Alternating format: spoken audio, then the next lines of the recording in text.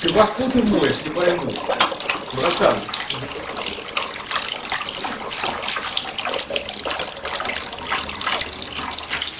Он, наверное, смотрел, как мы моем посуду, да? И Покинул. стал помогать.